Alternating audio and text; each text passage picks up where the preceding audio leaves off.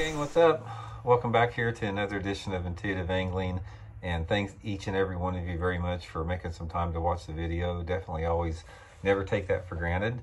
Today we're going to be breaking myths about pork frogs. To give you guys some tips and advice on how to ignore the myths around pork frogs and tell you guys uh, some really good juice that'll help you guys uh, really maximize the, uh, the times that pork will outfish plastic. And I've got a lot of experience with it, guys. I've been fishing pork since the 1970s, so we're going to get into that a little bit.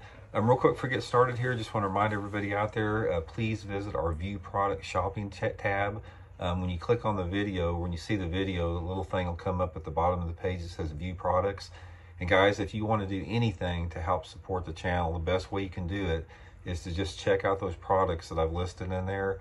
And in order for the channel to get credit for it, you have to click on them twice. Click on the product, and then you got to click on the site the product's on, and then the channel gets uh, credit for that every time you do it. So that's uh, much appreciated if you do that.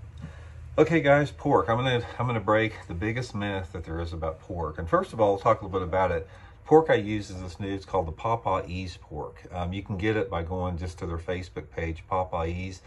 Guys, I'm actually working with them right now. I'm designing a custom old school pork frog to be matched up with my uh, of old school jigs here.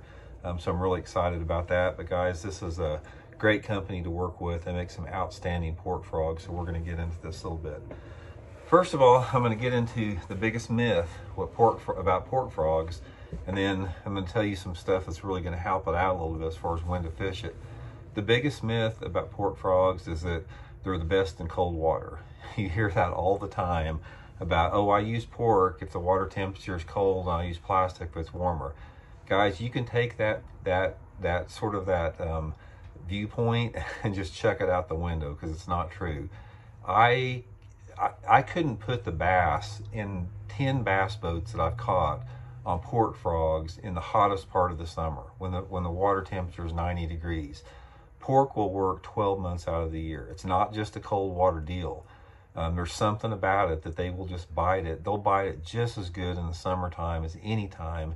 And in my opinion, the best time to fish pork is between from about, um, oh, probably April into November. That's that's my time. If, if you ask me as far as, you know, times of the year that I catch more bass on pork, the, the cold water months is the time I catch the fewest bass on it for whatever reason. Guys, and you got to remember, I fished pork since 1974, you know, forever. That's, that's all we used to use on jigs. For, for three decades, I didn't use anything but pork because they didn't have good plastic trailers. And then what happened is about 20 years ago, they, you know, Uncle Josh quit making pork and there was many, many years uh, where you didn't see any pork. Uncle Josh is back with them. Popeyes is back with them. So it's becoming more and more of a part of my game plan now.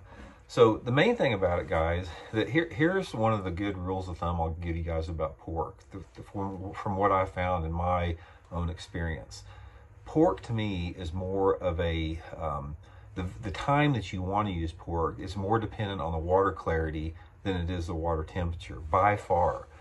I usually don't use pork hardly at all if the water's over about probably three foot visibility. For me, I do the best in pork when I have water visibilities anywhere between like say six inches to maybe, oh, two foot at the max, six inches to two foot. And the water clarity that I the, the water clarity will dictate the color of pork I use. You know, obviously you don't have as many color options, but you don't need as many color options in that dirtier water. You can get by with some of the basic pork colors that they have here. But the main th thing about this video, guys, is I just wanted to break that myth. Is like if you guys are one of those people that think that pork is just for cold water, you're really missing out because, like I said, I, if I've probably caught more bass in June and July on pork than I have any other months of the year, and it just really works good that time of year. So uh, don't hesitate to, to use it all year long. So anyway, guys, check them out. You can go to the Facebook page, Popeyes uh, Pork. Uh, keep an eye out for when my my, uh, my custom old school frog comes out. We're gonna really excited about that. And uh, again, thanks for tuning in the videos, and we'll talk to you guys later. See you.